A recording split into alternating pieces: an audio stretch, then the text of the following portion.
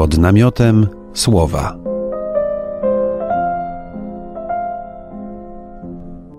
Teresa Radziewicz za debiutancki tom wierszy Lewa Strona otrzymała literacką nagrodę prezydenta miasta Białego Stoku imienia Wiesława Kazaneckiego za najlepszą książkę 2009 roku.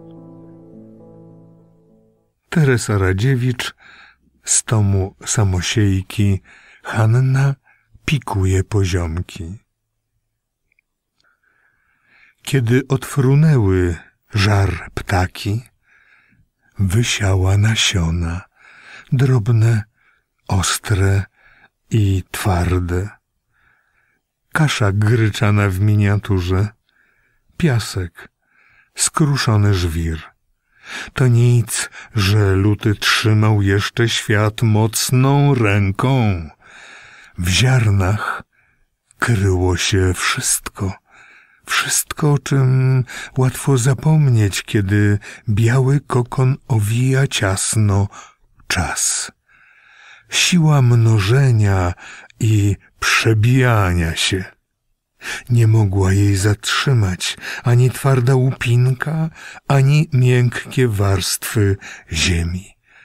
Wykiełkowały i rosły sycąc się coraz dłuższym dniem, nieśmiałe zapowiedzi wypełnionej słońcem słodyczy w lepkich palcach, zachłannych ustach dzieci.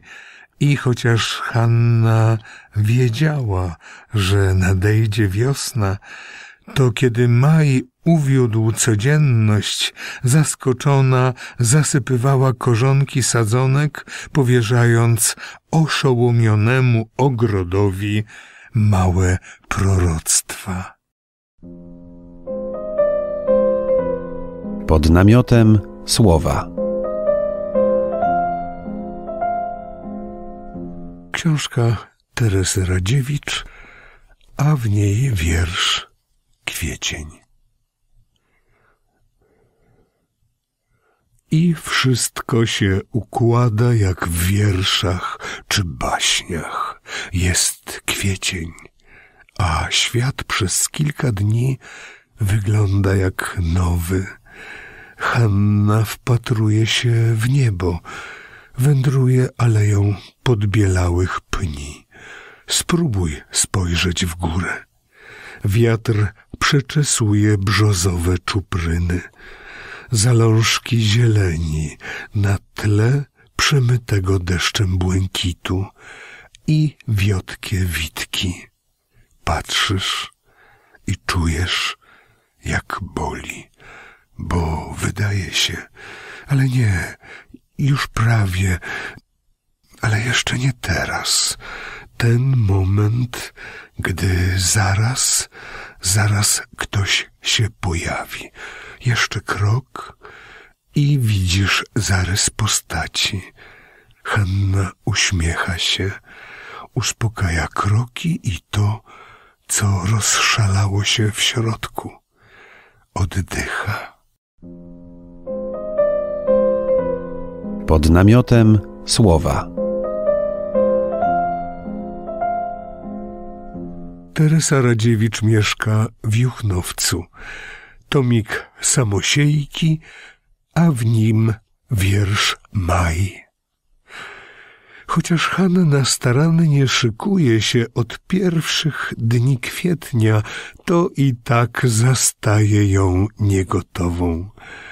Ślady deszczu trzymają się szyb, z półek schodzą książki napoczęte i nieskończone, a pomiędzy ulubione swetry wciska się wilgoć.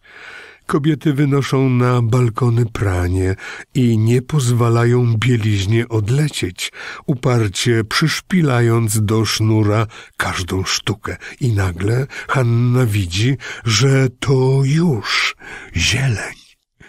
Zieleń zieleń. Jeszcze przed chwilą ledwo śmiała zarysować się skuloną zawiązką liścia jarzębiny na mokrej czerni podszycia. Jeszcze niedawno pnie i pola w tej samej tonacji, jedna cieplejsza noc i przetacza się nad ziemią świeże Świat przez kilka dni ma siedemnaście lat, a na trawnikach skołtunione ulewą stada mniszków lekarskich chichoczą. Pod namiotem słowa. Teresa Radziewicz z tomu Samosiejki maliny. Tego przedwiośnia zima trzymała tak długo i mocno, tak uparcie wracała i tyle razy, że nawet Hanna zaczęła wątpić w inne pory roku i nagle zaczęło się oczekiwane. Z hukiem pękła kra. Babka przysięgała, żegnając się trzykrotnie, że takiej strzelaniny nie pamięta od czterdziestego dziewiątego, kiedy chłopców z lasu wykurzył żrący do kości mróz. To była zima, wspominała. Termometr proboszcza sfiksował, drgająca rtęć skakała po skali, aż wreszcie szklana rurka pękła jak serce, które nie wytrzymuje kłującej codzienności. To była zima. Bydło padało z głodu, a dziadek, niosąc z za rzeki drewno, złamał nogę. Ktoś rybkę łowił i nie oznaczył przerębli. Śnieg ją przysypał ze szkloną mrozem. Same, same nieszczęścia, córciu. Hanna parzyła herbatę ze zbieranych w lipcowe poranki malin, najlepsze lekarstwo na styczniową melancholię i uśmiechała się do ognia w kominku, do opowiadającej babki, do coraz dłuższego dnia. Pod namiotem słowa.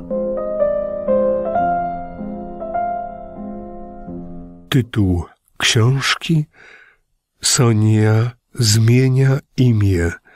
Autor Teresa Radziewicz. Wiersz Sonia postanawia odzyskać mowę. Powiedzieć imię, zobaczyć człowieka. Powiedzieć miejsce, zobaczyć ziemię jak zamknięty krążek złota Sonia pisze ostatnio o rzeczach najprostszych. Gdzieś odkryto plemię, które nie zna słów. Zauważa rzeczowo, że chociaż nie mówią modrzew, skała, dom, miłość, to na szczęście nie wiedzą, czym jest zabić, zagłada, nienawiść. Więc nie można mieć wszystkiego. Trzeba coś stracić i coś zyskać. Czy kiedy traci się wszystko, wszystko się zyskuje? Powiedzieć imię, nadać człowiekowi własne znaczenie, powiedzieć miejsce, jak ostatni cud świata. Sonia zmienia imię. Ostatnio kazała na siebie mówić Sophie i dodawała jeszcze tylko Potrzebuję dużego mężczyzny, w którego ramionach mogłabym się budzić. Pochylona postać zrywa krwawnik i śpiewa od ciemności, od samotności, od strachu i piachu chroni ta roślina. Wziąć jarzębinę, niewybarwione baldachy i w misach pełnych żwiru, wybranego z rzeki, ułożyć obrazy. Trzeba się śpieszyć. Niedługo nadejdzie i powie Sofii, twoje ogrody są piękniejsze od ogrodów Semiramidy. Trzeba się pośpieszyć, żeby wszystko było gotowe. Urodziliśmy Cię z przemian i pragnień. Jesteś ziemią poprzecinaną rzekami krwi, pędzącymi po omacku bez końca, który nadchodzi. Pod namiotem słowa.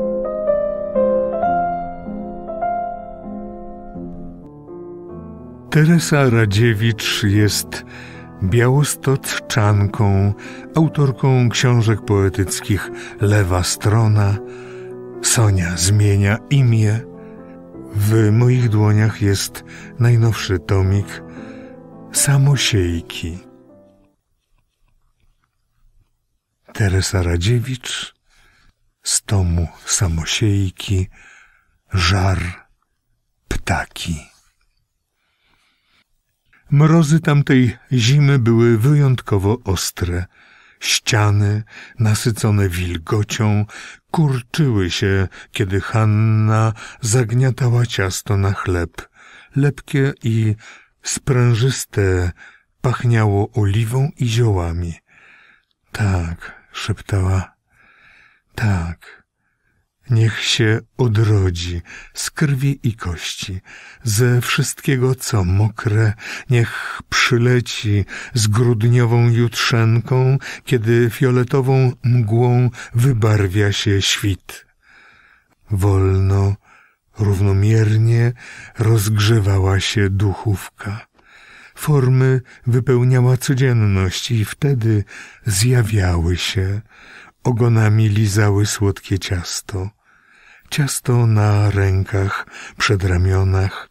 Hanna chwytała pióra, znikała za oknem. Nikt nie wiedział, czy wróci. Świat układał się po swojemu. Słońce wymagało, żeby ktoś kręcił się dookoła niego, a siła kiełkowania działała nieustannie, chociaż wciąż w różnych miejscach i kobietach. To był czas drogi, zapowiedź dni, kiedy najważniejsze staje się miejsce dom, pełen ludzi i kotów spragnionych czułości. Przychodziły i Hanna sfruwała nagle, odgarniając żar ptaki.